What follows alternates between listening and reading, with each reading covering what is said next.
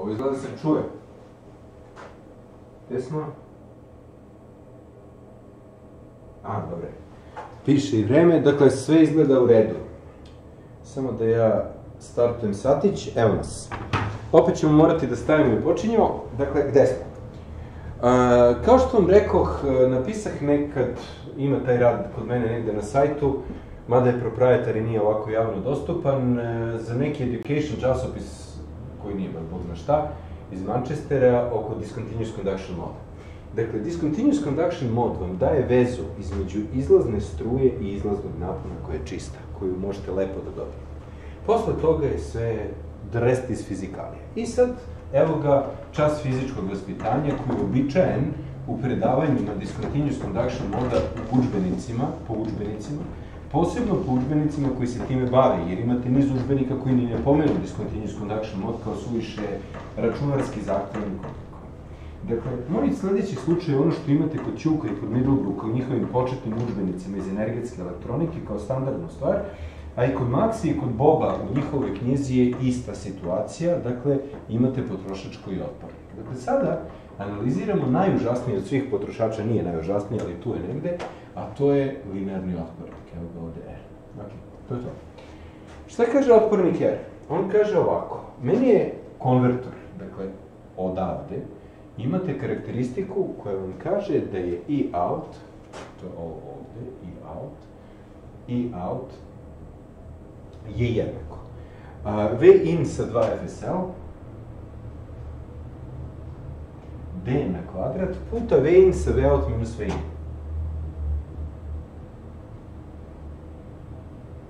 I na ovu stranu imate, uh, imate otpornik, potrošač koji vam kaže da je R jednako V out kroz I out.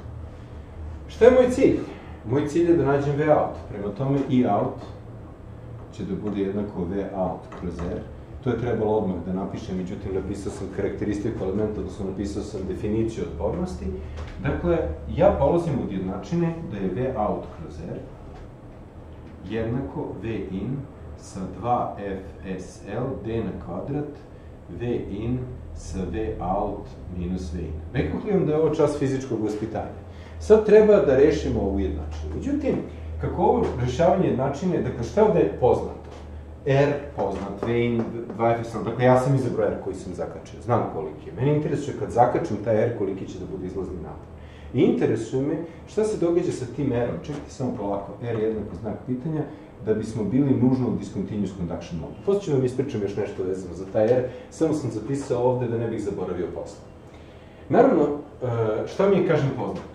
V out ne znam, R sam izabrao, V in 2FSL, D na kvadrat V in, to je sve u redu. Dakle, nepoznata mi je ovde i nepoznata mi je ovde. Ovo je čisto matematički problem, odnosno čista fizikalija. Ali ja neću taj problem da rešavam baš tako direktno, nego ću malo da modifikujem ovu jednačinu. On purpose. Kako ću to da uradim? kaže, kaže ovako, V out kroz V in. Dakle, šta sam uradio da bih to dobio na levoj strani? Pomnožio sam sa R, pa sam podelio sa V in. Znači, V out kroz V in je jednako R kroz 2FSL. Ovo je sve poznato, ispakovano u jedan parametar.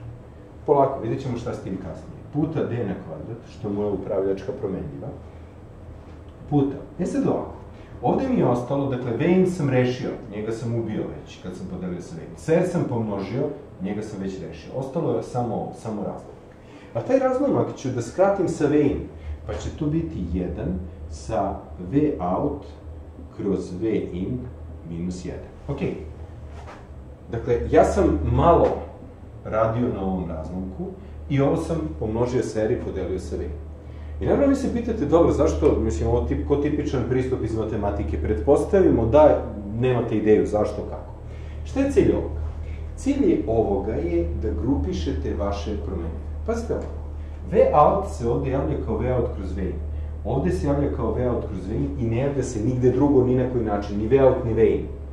Dakle, šta će meni V out kroz V in?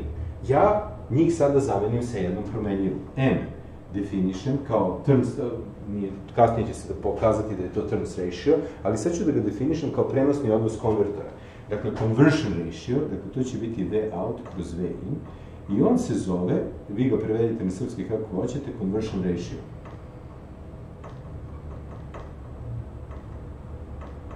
Ok.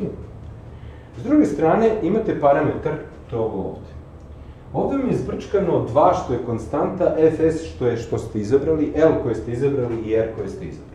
Ja ću sada da definišem parametar k kao jedno slovo, što god bilo, koji neće imati fizičku dimenziju, kao što i V-out kroz V-in nema fizičku dimenziju, i to k je definisano kao 2 fsl kroz r. Zašto ja to radim? Da bih pojednostavio jednačinu.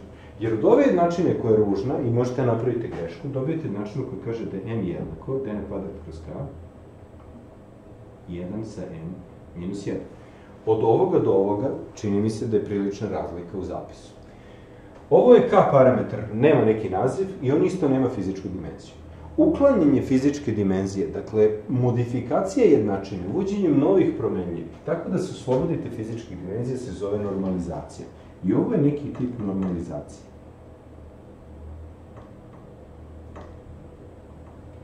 To energetičari jako vole da rade, ja sam to naučio pošto sam završio doktorat onako temeljnije, a ne pre, mislim da je dosta zgodno. Ima prednost, ima mane. Prednost je što ste sklonili fizičke dimenzije, mana je što ste sklonili fizičke dimenzije.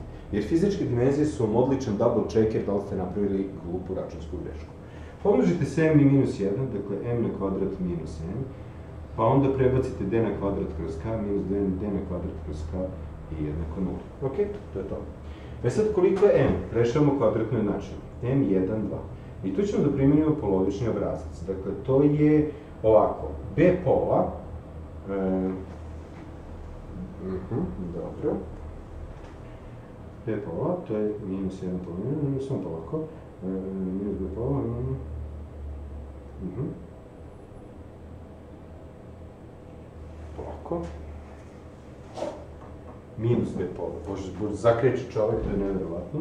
Znači, bit će jedna polovina plus minus koren iz b pola na kvadrat, dakle, zaboravio sam minus prvo, pa sam se pitao mi ide minus ili ne ide minus, a zapravo sam mislio na nešto potpuno deseto što mi piše ovde na puškici, pošto nisam uspio da nađem sobstvene beleške za ovo predavanja. Dakle, minus b pola plus minus koren iz b pola na kvadrat. Šta će biti b pola na kvadrat? Jedna četvrtina. Minus šta? Minus AC sa A, to je jedinica, dakle minus AC, to će biti minus, neće biti minus, bit će plus, D na kvadrat sa K, to je C, A je 1, to je to. E sad, skratimo malo razmenu. I malo preformulišemo ovo jednačinu, to će biti jednako, jedna polovina plus minus jedna polovina, koren iz. Ovu četvorku sam izvukao napolje, dakle bit će 1 plus Da bih to što sam izvukao kompenzovao, bit će 4d na kvadrat kroz k, 4d na kvadrat kroz k. I sad polako konvergiramo ka finalnom rešenju koje sam ja već počeo da pišem, iako mu nije mesto. A to finalno rešenje kaže ovako, imam dva rešenja, plus i minus. Koliki je conversion ratio? Izlazni napon je pozitivan, ulazni napon je pozitivan, nužno pozitivan broj. Ovo je nešto što je veće od 1. Prema tome, ostaje samo znak plus. Znak minus ispada iz priče.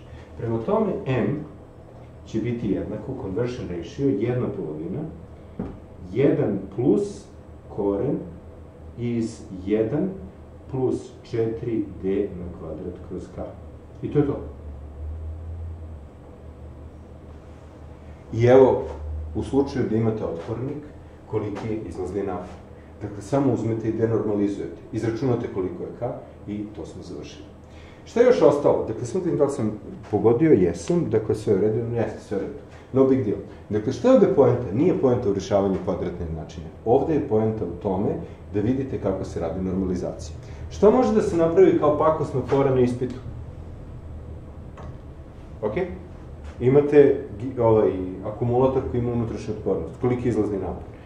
Naravno, ja to ne volim da dajem na ispitu, pošto ti zadaci su teško pregledabilni, jer tu se često prave računske greške, a s druge strane im pokazuju sposobnost da se snalazite sa matematikom, a ne sposobnost da rešavate probleme energetske elektronike. I to je to. Ovo sam vam ispričao zato što treba da imate kompletnost i treba da znate kako to piše u standardnim knjigama. Ovu formulu, kao što ste videli, ja se pitam kad, zašto, kako izvodim. Dakle, to nije formula koja se svakodnevno koristi. Okej. Okay. Ostalo je pitanje, a koliko je R da bih bio discontinuous conduction model? Pazite ovako. Meni ovo nešto kaže vezano za granicu. To vezano za granicu mi kaže da se granica nalazi kada je i out baš jednako toj vrednosti kad piše. Obrišem je malo. Obrišem. I to je to. I sad kaže ovako, granica CCM DCM, CCM, povlaka DCM, se događa kada je i out jednako V in sa 2FSL D puta D prim. Čim imate pojam D prim, vi se nalazite u continuous conduction modu ili u najdaljem slučaju na granici, e, nalazite se u continuous conduction modu ili u najdaljem slučaju na granici između continuous conduction moda i discontinuous conduction moda. Ako je to tako, koliko mi je ovo i out? I out mi je jednako V out kroz R. Što je jednako? V out mi je na granici ili dok sam u continuous conduction modu V in sa D prim puta R. Prema tome, uh, V in sa D prim puta R, tako, je jednako V in sa 2FSL D puta D prim. Očekivano, V in i V in će da se skrati.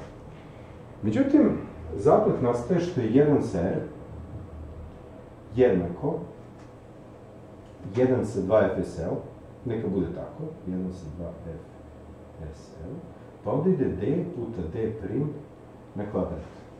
Ok? I ovde će nastati zaplet. Što će reći da je na granici R jednako 2 FSL kroz D puta D prim na kvadrat. I sad, kad se nalazite u continuous conduction mode? Continuous conduction mode, i to ću da definišem, neka to bude R kritično. Continuous conduction mode nastaje ako je R manje od R kritično, jer kad držite konstantan napon, vama su veliki potrošači oni koji imaju malu otpornost. Konstantan napon, mala otpornost, velika struja, velika potrošnja. A discontinuous conduction mode, DCM, nastaje kada je R veće od R kritično. Kada je R jednako R kritično, nalazite se u gran, na granici između continuous conduction moda i discontinuous conduction moda, ali suštinski u continuous conduction modu. Tada važi izlazni napon za continuous conduction modu. I ovo smo dobrim delom završili. Međutim, postoji jedan mali problem. A taj mali problem je pisanje puškica, koje vas molim najljubaznije da ne pišete, jer meni pravite problem kad vas izbace, pa onda posle ja moram da se bavim tim. Dakle, R kritično kako smo ga definisali gore, je jednako 2FSL sa D, D prim na kvadrat. Kada pišete puškice, to treba pisati sa razumevanjem, a ja bih vam savjetovao da pišete da je D, D prim na kvadrat jednako D puta 1 minus D na kvadrat. Jer nekada davno, pre više od 20 godina, postoje jedan poseban slučaj koji je D d prim na kvadrat preveo kao d na 13. Ok? Jer d puta d na 12 je zaista d na 13. Međutim, ovo prim liči na 1 i onda ako radite bez razumevanja, to postane d na 13. I pregledam zadatak i pitam se, Bože mi pomoze, šta je ovo dakle d na 13. I ubijem se i pokušam da nađemo dakle d na 13 i onda shvatim da ta formula potiče out of the blue, da je ili prepisana ili naučena na pamet a onda shvatim da je d na 13 d puta d prim na kvadrat. Zbog tog slučaja nerazumevanja formule i sličnosti prima i jedinice sam vam ispričao ovu priču. Inače, nije zaslužila apsolutno nikakvu pažnju. Ovo je bio boost konvertor u discontinuous conduction mode. I kod njega je karakteristično to što sam, mislim, nacrtao, nisam nacrtao, nemoguće to jest možda sam i nacrtao, ali sam zaboravio da li sam nacrtao, nacrtat ću vam ponovo, a sve mi se čini da nisam nacrtao, a to je kriva regulacija. Kako izgleda njegova kriva regulacija? Njegova kriva regulacija, sve mi se čini da sam zaboravio da je nacrtam, izgleda na specifičan način. Ona kaže ovako, hop, hop, ovo je V out, ovo je I out. Ovo je i out kritično, što je i out kritično je V in sa 2 FSL, D puta D prim. V out se ovde ustali na V in sa 1 minus D. A za manje struje teži beskonačnosti. Dakle, teži beskonačnosti izlazni napon. I to je dosta ružna osobina ovog konvertora. Naravno, postavlja se pitanje na koje ja ne mogu sada da vam dam odgovor, odnosno mogu da vam dam odgovor posle kad napravim pauzu da nađem koja je formula. Kako treba da se menja duty ratio, dakle D, ako želim da držim konstantan izlazni napon od I out. Dakle, evo nas ovde na granici. Ovde je V in sa 2FSL D puta D prim. Ovde je konstantan duty ratio, kad se nalazimo u continuous conduction mode. Ovde je continuous conduction mode, a ovde je discontinuous conduction mode. Dakle, ovde sam u continuous conduction modu, a ovde ću biti u discontinuous conduction modu. U continuous conduction modu, koliko je D? Pa, um, V out je jednako V in sa 1 minus D. Prema tome, 1 minus D je jednako V in sa V out, je tako? Odnosno, D je jednako V out minus V in sa V out, tako? Dakle, V in minus V out pređe na ovu stranu, V pamtim, dobro, jeste, to to. Odnosno, mislim, ja to izračuno sve kako treba, da je D jednako, da, D ovo sam prebacio, 1 minus V in minus V in, da, da, to je to, gotovo. Znači, ovde je V out minus V in sa V out. Ok, to je to. Dakle, ako nisam napravio neku računsku grešku, mada m, toliko je glupavo da nema nikakvog razloga da bude, čekajte da double checknem za svaki slučaj. V out je V in sa 1 minus D, dobro. 1 minus D je V in sa V out. Znači, D je jednako prešao na ovu stranu, 1 minus, dakle V out jeste, to je to, to to. Ovdje ti reši. E sad šta se događa u discontinuous conduction mode?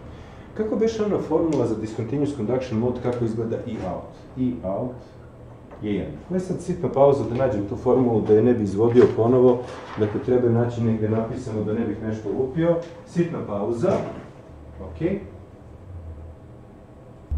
Ok, nastavljamo. Sam sekund da uključim štopericu, dakle pronašao sam formulu da je ne izvodim ponovo i da ne lupim nešto, radeći po sećanju. Dakle, šta kaže? I out je jednako, d na kvadrat, ja imam negde štampane ovdje beleške za predavanje u kancelariji, ali mogu da ih nađem, pa mi veći posao da tražim nego da ovako završim. d na kvadrat, uh, v na kvadrat, to nikad ne bih napisao sada tako, jer menjaju ljudi mišljenje, a ovde je v out minus v in. Dakle, to je i out. Šta je moj cilj? Moj cilj je da držim v out konstantnim, bez obzira na to koliki je i out. Ok, v out konstantno, sve ovde konstantno, i out se menja jedini način da kompenzujem i out je sa d na kvadrat. Prema tome, d na kvadrat treba da bude jednako. Aha, v out minus v in sa v in, pa onda puta, dole će biti još jedno v in, a bit će 2fsl, 2fsl i out. Odakle je d jednako, koren iz v out minus V in sa V in. Kad ste fiksirali V out, znate koliki je, smislili ste šta hoćete da bude. V in ste fiksirali, ovo vam je konstanta. I onda vam ostane 2FSL, što ima fizičku dimenziju otpornosti, kroz V in ima fizičku dimenziju 1 kroz struja, puta I out. Dakle, opet imate duty ratio koji je nekakva korena funkcija od I out. Dakle, morate da menjate duty ratio u zavisnosti od izlazne struje na ovaj način. Šta je potrošač? You don't care. Dakle, šta god da vam je potrošač, u zavisnosti od izlazne struje koju iska dati potrošač, vam je potreban duty ratio koji izgleda ovako. I ovo vam je kriva upravljanje.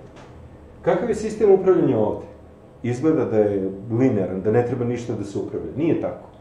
Biće nelinaran sistem i ima šta da se upravlja jer će paraziti da vam naprave zavisnost izlaznog napona od e, izlazne struje i pritom e, imaćete varijacije V ina koje vam prolaze u izlazni napon. I da biste to kompenzovali, da bi se brzo uspostavilo ustaljeno stanje, morate da radite regulaciju.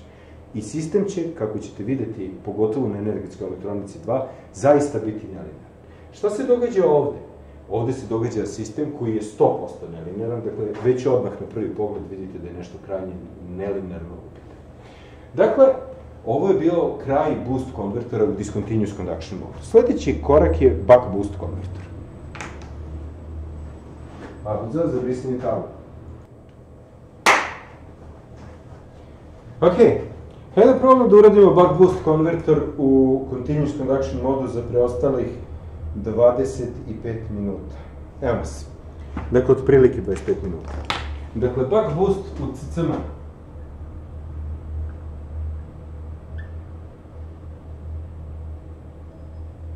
Dakle, buck boost converter continuous conduction mode. Šta je continuous conduction mode, već vam je jasno. Hajde prvo da vidimo kako izgleda buck boost converter. Buck boost converter izgleda ovako. Počinjete sa nekim pozitivnim VI. I onda ga seckate. Tako što imate prekidač S koji ima IS, a to IS će biti isto što i II. Ovaj in će nam u ovom posebnom slučaju biti jako važan. Vidjet ćete kasnije zašto. Kad dođemo do Sigmunda Singera. Ovo je kalem induktivnosti L, ovo je struja i L. Onda, diodu ćemo da okrenemo na suprotnu stranu. Biće D i ovako će ići i D. Ovde će ići kondenzator C i ovde neka ide i out. Ok, plus, minus, B out. Um, izvesno je da ćemo završiti u continuous conduction modu buck boost, fali mi T, već sam umoran. Um, dakle, buck boost ćemo izvesno završiti, ali ne znam da li i linear ripple approximation i small ripple approximation. Ajde prvo da uradimo small ripple approximation. Ok, i šta kaže small ripple approximation? Prva stvar je, imam da je IL jednako malom IL, dakle da je to konstantna struja, s tim što je VL srednje jednako nuli. I takođe VC će biti jednako velikom VC, kako je trebalo da napišem i gornju jednačinu, i iako nije od za vas, mene nervira da je ovako napisano, pa ću napisati onako kako treba. Dakle, IL malo je jednako IL veliko, to je konstantno, pri uslovu da je IC, dakle nema veze sa IL, jednako srednje jednako. Dakle, to je small ripple approximation. Ok, ako imam small ripple approximation, ja kažem ovako, imam jedno stanje 1, kada mi je 0 manje jednako t manje od dts, i tada znam da mi je s jednako 1. I ovde, negde na pola table, ću da izvučem drugi deo gde kaže dvojka, drugo stanje, gde je dts manje jednako t što je manje od ts. I tada je s jednako 0. Hajde vidimo gde smo i šta smo. Kad uključite prekidač ovde, struja kalema raste. Logično, nećete da držite negativnu struju kalema, da vraćate energiju nazad, nego će biti pozitivna struja kalema. Dobro, ako je pozitivna struja kalema, dakle ta struja je konstantno, ona teče na ovu stranu. Okay. Kad isključite prekidač, mora da vodi, vodi dioda. Dakle, ovde će biti da D jednako 1. Ok, dioda vodi na ovu stranu. Sledeća stvar je, šta se događa ovde? Ovo je IC. Imate ampere second balance koji kaže ovako, dakle da ID plus IC plus I out, neka bude veliko slovo, I out, jednako 0. Kad usrednjite to, ID srednje plus IC srednje, za koje znamo da je 0, plus I out, jednako 0. Znači, I out je jednako minus ID srednje. Pazite ovo, minus ID srednje. ID je nužno pozitivno. ID srednji je nužno, i dakle ID je od 0. ID srednji je stoga od 0, prema tome I out, koji je minus ID srednji, je nužno manje od 0. Pozitivna struja, pozitivan napon, pozitivna snaga. Negativna struja, šta je sa V out? Zbog održanja snage, jer ovde nema disipacije, ovde nema disipacije, ovde nema disipacije i ovde nema disipacije po pretpostavljenim modelima, imaćete da je V out manje od 0. I to je glavni razlog zašto se buck boost danas koristi. Ono služi da obrnete potencijal. I obično tu polude na vas bilo koji inokosni poslovni organi kada tražite negativno napajanje. Jer negativno napajanje na nekoj ploči podrazumeva postojanje ovako nečeg, jednog buck boost konvertora. Taj buck boost konvertor će napraviti i smetnje, i košta, i možda mu treba regulacija, i koje šta drugo, ili ćete neki flyback, ali to je naredna tema, jedna od narednih tema, uh, morate da radite dakle, nešto što košta. Dakle, idealno ako možete da rešite sa jednim VCC. Naravno, idealno bi bilo da napravite bez napajanja i bez ičega, samo da donosi pare, međutim, nažalost, ne možete baš tako, postoji ipak neki zakon i održavanje. Dakle, ako S jednako 0, D jednako 0. D jednako 1. Kada S jednako 1, uključen prekidač, ovde mi je pozitivan napon V in. V out je negativan napon, prema tome ovde je D jednako 0. I sad smo i to završili. Ok. U ovom prvom slučaju, koliko je VL? VL je jednako V in. U ovom drugom slučaju, koliko je VL? VL je jednako. Hop, dioda vodi V out. Mhm, dobro, dobro, dobro. Sledeća stvar, šta mi kaže volt second balance? Volt second balance, VS balance, jer ja već znam kako izgledaju VL-ovi, mi kaže da je DTS, DTS V in, plus D prim TS V out, jednako nula. TS i TS se naravno odmah skrate do nivoa da neću ni da ih pišem obično, prema tome V out je jednako minus D kroz D prim puta V in. Hop. Odnosno, V out je jednako minus D sa 1 minus D puta V in. Ok. Hajde malo sada da ne bude suviše dosadno, da vidimo kako izgleda to u izlaznoj ravni. Polako, izlazna ravna. Šta ću ovde nacrtam? Ovde ću nacrtam M, koji sam definisan kao V out kroz V in. A ovde će mi biti duty ratio D, koji se kreće između 0 i 1, takva mu je definicija. I za buck konvertor, ako je ovo 1, imali ste da je M od D jednako, M od D je jednako D, to je buck.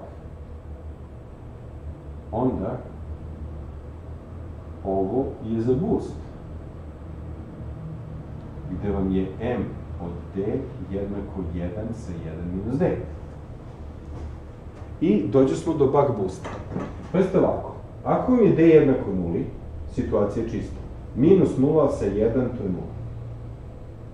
Ako mi duty ratio je jedna polovina, jedna polovina sa 1 minus jedna polovina je 1 minus, dakle ovde minus 1. A ako vam D teži 1, onda vam 1 minus 1 teži 0, D je blisko 1, to ide u minus beskonačno. Dakle, se. I ovako izgleda vaša prenosna karakteristika za buck boost. Dakle, M od D je jednako minus D sa 1 minus D, ovo je D, i to se odnosi na buck boost.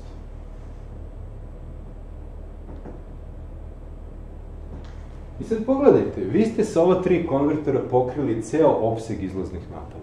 I pozitivne, i negativne, i veće, i manje od napona na ulazu V I to je karakteristika sva tri osnovna konvertora. Oni vam pokrivaju sve što vam treba od izlaznih napona koji su konstantni. Da li su optimalni pitanje? Da li oni imaju galvansku izolaciju? Nemaju. Ali oni pokrivaju ceo opseg. Ok. Šta ja znam o konvertoru? Jako malo. Znam samo da je dovoljno veliki kalem i dovoljno velika kapacitivnost. Ja već nađu koliki izlazni napad. Ajde idemo dalje. Sledeća stvar je šta se događa sa IC-om. Dakle, ovde se pitam kolike su kopromenjive stanje. U slučaju 1, IC vam je jednako, IC je jednako. Dioda ne vodi, to je minus i out. U slučaju 2, IC vam je jednako, dioda vodi, a prekidač ne vodi, vi imate da je to ID, dakle, minus ID, minus i out. Znači, minus ID, minus i out. A koliko je minus ID? To vam je ID, vam je IL kad ne vodi prekidač. Znači, bit će minus IL, minus I out. Ok. I šta kaže ampere second balance? Dakle, ja sad ovde odvojim parče table za ampere second balance. I ampere second balance kaže ovako. Znači, imam DTS minus I out puta DTS plus minus IL minus I out, minus IL minus I out, puta D prim TS, D je jednako 0. Skratim, skratim. Ovako, minus D prim IL, minus D, pa će biti plus, pošto je ovde sa minusom, D prim IL, D je jednako 0. D plus D prim je jednako 1, znači minus D prim IL, minus I mm, IL, IL, IL, IL, I out, minus I out, jednako nula. Odakle je šta?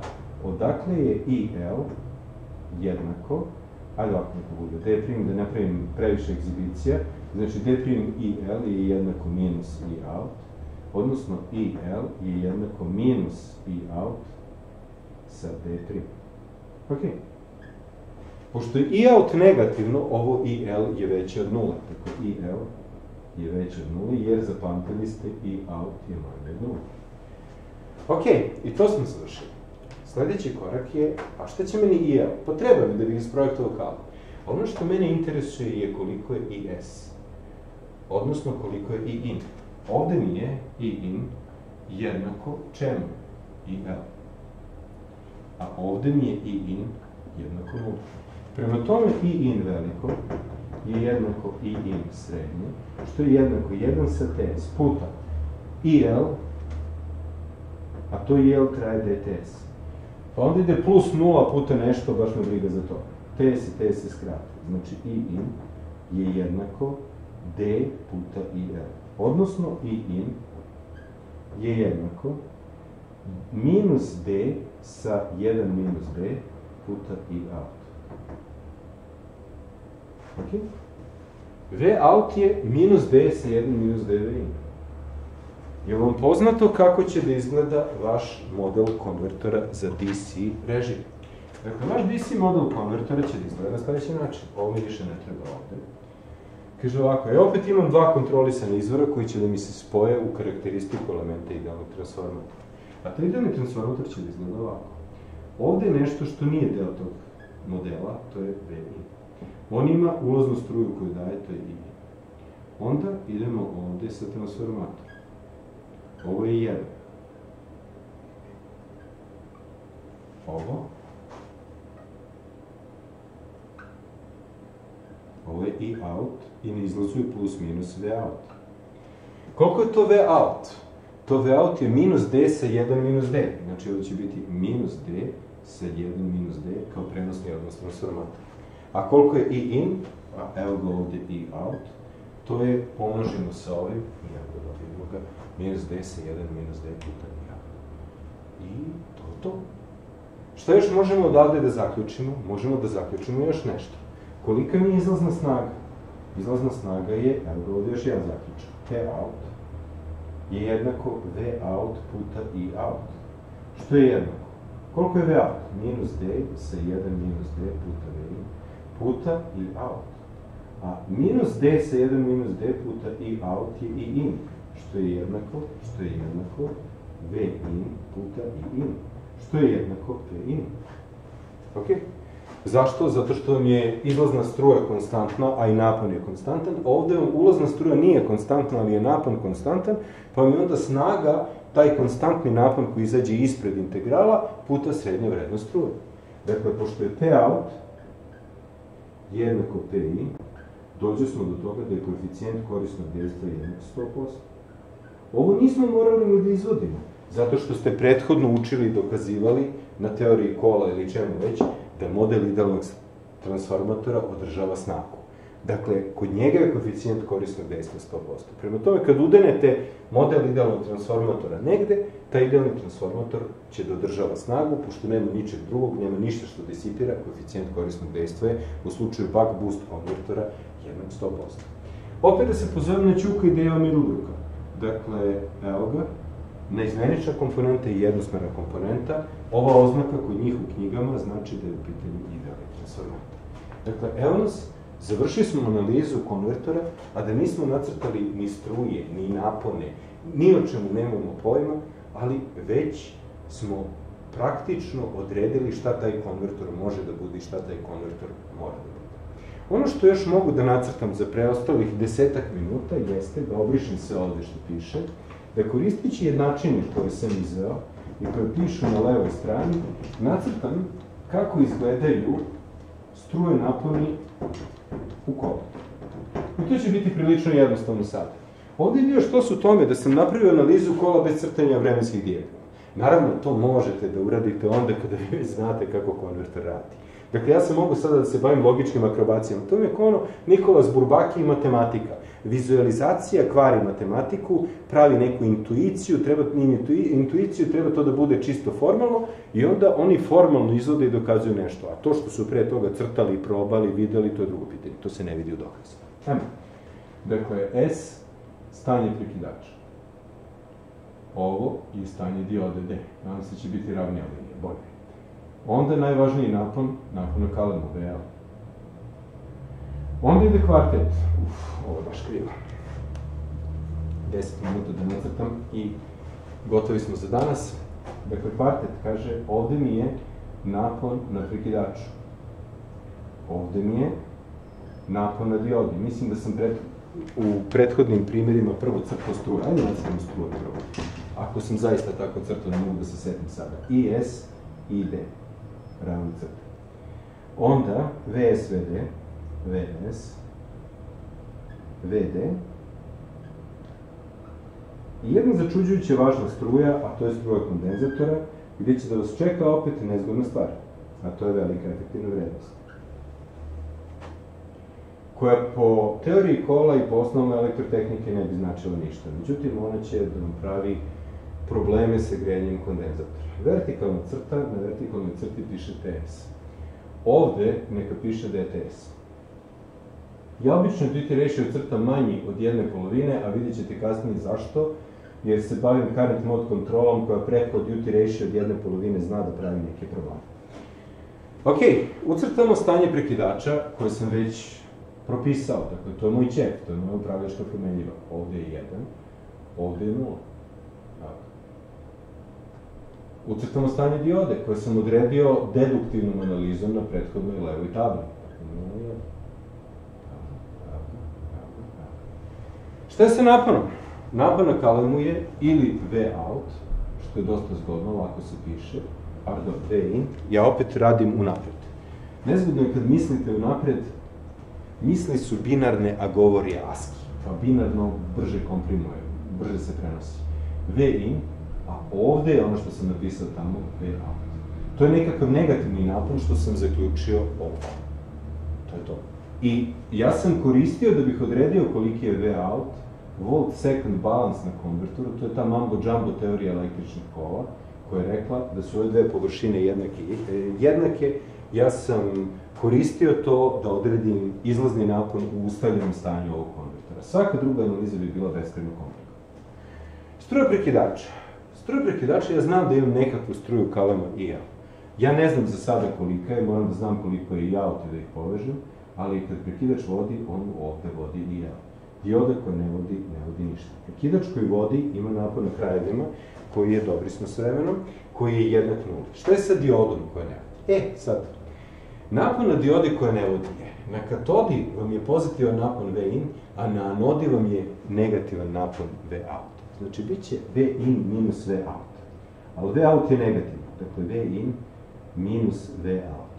I to je sudbina svih prekidačkih elemenata u osnovnim konvertorima. Najgrđe od napona što postoji na kolu, u kolu. U ovom slučaju je napon odavde do ovde taj. To će da vam padne na prekidački element koji ne vodi. Isto tako, najgrđa struja koja postoji u kolu će vam ići kroz prekidački element koji vodi.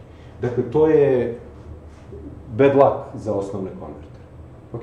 Struju kondenzatora naravno računamo na kraju. Isključujemo prekidač. Kad isključite prekidač, njegova struja je jednaka nula. Gotovo. Preklavamo se ovde na IL ponovo, hop, hop, hop, hop, hop, to smo završili. Ide.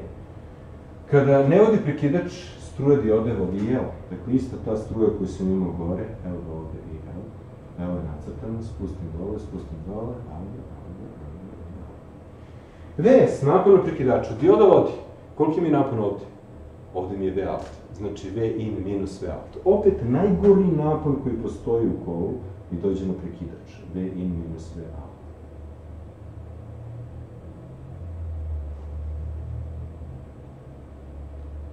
Minus V out. I kada dioda vodi, njena struja, njen napon je jednak nuli, ne struja, nego napon,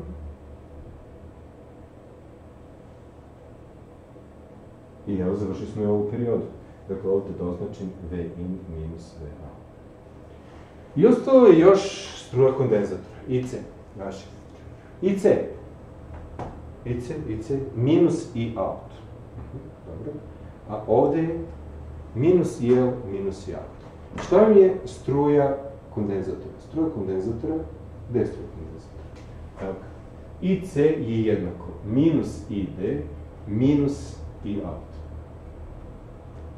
IC srednji je jednako nuli, što je jednako minus ID srednji, minus I out. Odakle je I out jednako minus ID srednji. Prema tome, IC je jednako minus ID, minus I out, a to je minus ID srednji. Znači, ID srednji minus ID. Dakle, opet vam struja diode govori sve o pitanju toga koliki je I out. Dakle, sada ovo je ID, jer treba to da okrenem naopako i da vam procenim srednju vrednost. Srednja vrednost je tu negde, recimo. To je to. Aha, aha, aha. I uzmem sada i okrenem ga naopako. Dakle, kad okrenem naopako, ovde dobijem nešto malo više, ovde dobijem nešto malo niže, nešto malo manju visinu prevodovnik. Evo, evo, evo, evo. I koliko je IC u ovom segmentu? U ovom segmentu je minus i out. A u ovom segmentu je minus i out. I to je minus i out, minus i out. Dakle, minus i minus i sam dobro napisao i C je minus i minus i. Tako je, to je to. Mora da važi amper second balans, odnosno ova površina i ova površina moraju da budu jednaki. Gde je ovde baseline? Baseline vam je ovde. Na minus i out. Taj baseline vam se uvek lako crta, to vam je struja koju imate kada ne dopunjavate kondenzator. Pali u svim slučajevima, izuzev kod buck konvertora, jer kod buck konvertora uvek dopunjavate kondenzator. Šta je ovde problem? Ovde je problem što imate veliku efektivnu vrednost struje kondenzatora. I ta efektivna vrednost zavisi od i-out. Setite se buck konvertora. Kod buck konvertora efektivna vrednost struje kondenzatora je u slučaju da imate small ripple aproksimaciju, evo ovde small ripple aproksimacija, jednaka nuli. I pritom ne zavisi od izlazne struje, jednaka je nuli, ne zavisi ni od čega. Ako imate linear ripple aproksimaciju, imate efektivnu vrednost struje kondenzatora, ali ona ne zavisi od i-out. I zbog toga ona može da bude prilično mala. Ovde nema spasa. Zavisi od i-out i to dosta i ozbiljno zavisi od i-out i onda možete da očekujete veliko toplotno naprezanje kondenzatora, koji inače nema gubitke, ali to malo što ima gubitaka sa velikim efektivnim vrednostima struje može da napravi značajne gubitke na kondenzatoru. I oni su naročito opasni kod elektrolitskih kondenzatora koji imaju neku tečnost u sebi koja zna malo da izlapi, da se izgubi, pa zato elektrolitski kondenzatori imaju prilično predvidljivo vreme trajanja kad treba da ih zamenite. I zbog toga, ako oni krenu da ključaju, da ne bi eksplodirali nekontrolisano, izleti ovaj čep koji je osigurač. I to je to. A, kako izgleda model, to sam objasnio, rekao sam vam koliki je koeficijent korisnog dejstva. Šta small ripple aproksimacija nije uspela da predvidi? Ona ne uspeva nikako da predvidi discontinuous conduction. Ni kod jednog konvertora small ripple aproksimacija ne predviđa discontinuous conduction. Discontinuous conduction mode je posledica konačne induktivnosti kalema kod ovih konvertora i ta konačna induktivnost kalema će napraviti da u jednom trenutku u okviru periode sama od sebe prestane da vodi dioda zato što bi njena struja želala da postane negativna. I to bi bilo to. Dakle, u skladu sa planom, buck boost konvertor smo završili sa small ripple aproksimacijom. Za sledeći čas mislim da ću jedino da stignem da vam ispričam linear ripple aproksimaciju kod buck boost konvertora, ništa posebno novo, primene iste te, metodologije, ne tehnologije, nego metodologije na analizu jednog konvertora koji je vrlo sličan prethodnim, ali ne isti. Toliko za ovaj čas. Klik.